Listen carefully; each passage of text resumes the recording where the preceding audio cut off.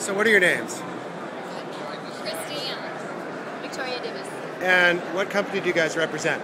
BI Science. What does BS Science do? Um, it's a business intelligent technology company.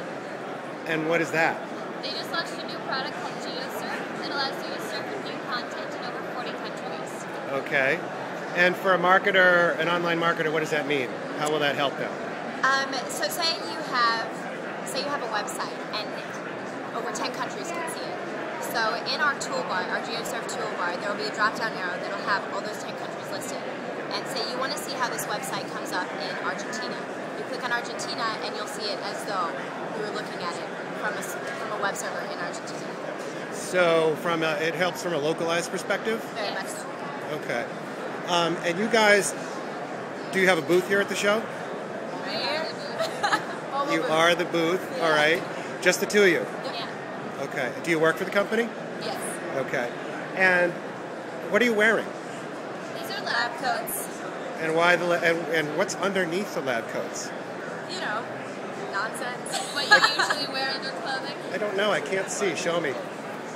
I don't think I can do that. That's okay. I'm kidding. I'm kidding.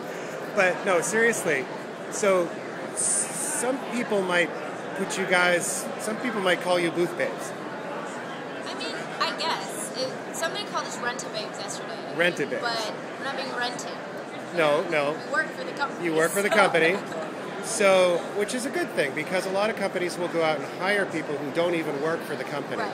and just sort of say, they'll give them a couple lines to talk about. Right. And usually they end up sounding stupid. right. But, you know, I got to say, you guys don't sound stupid. Oh, well, thank you. So apparently you know what you're talking about. You work for the company. And have you had any sort of comments, just like people saying, why are you dressed that way? Is it degrading your company? Of course. I mean, you know, I don't think it's really degrading if you kind of get your message out there anyway. Yeah. So it's one of those things where. I mean, this is an advertising, you know. You know, So we're much just so. advertising. It's Prime so way to advertise. it's all about the image.